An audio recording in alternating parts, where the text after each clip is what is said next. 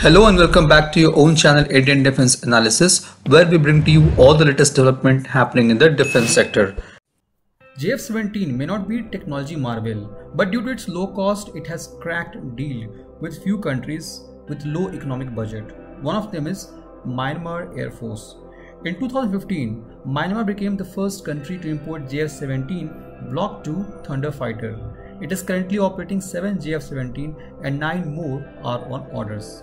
While Myanmar cannot directly purchase the fighter jet from China due to the imposed ban, they choose to go via Pakistan.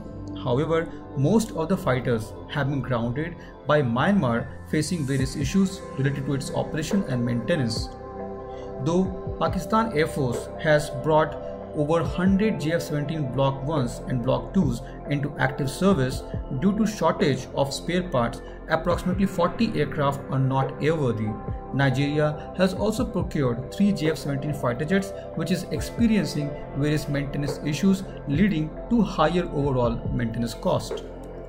The engine used in JF-17 is Russian RD-93 engine which is a cheap variant of RD-33 which itself is declared useless. This engine is also notorious of generating thick black smoke which can be spotted from miles away. A large number of engines have been reportedly experiencing cracks in guide vanes, exhaust nozzles and flame stabilizers. Pakistan has raised these concerns with China about the repeated failure and high unreliability of the engines. China is facing problems in the supply of these engines from Russia. Even Myanmar Air Force is facing technical issues with the engine which is further worsened with US sanction on Russia. The engine is also infamous for its poor serviceability. The most critical part of any aircraft after engine is radar and mission computer. The JF-17 integrates KLJ-7 radar and Weapon Mission Management Computer WMMC and both of them have reported problems. As per the Greek magazine Pentapostagma, malfunction of WMMC has caused launch zones of BVR air-to-air missile to shrink during the combat exercise. Due to its unreliability, PAC is looking to indigenize the main computer module.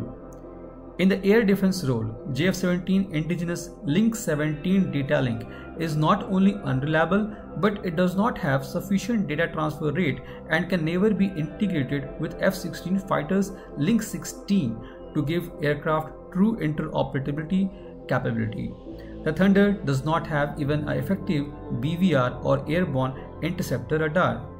The KLJ-7 radar consistently exhibits below grade performance and has been plagued by several operational issues since the beginning of JF-17 project. Despite China's Nanjing Research Institute of Electronics Technology recommending retrofitting, the radar continues to experience a high failure rate. Issues have also been reported on the airframe of JF-17 because of poor metallurgy. Four JF-17 of Myanmar have developed cracks in ventral stabilizers.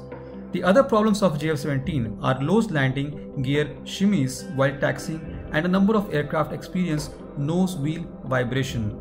The low-cost JF-17 is now becoming bigger liability for Air Force operating it.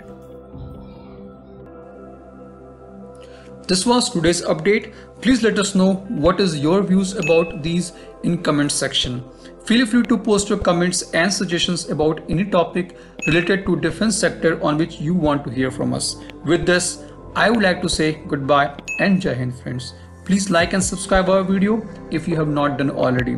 We'll be soon back with more interesting and amazing development happening in defense sector.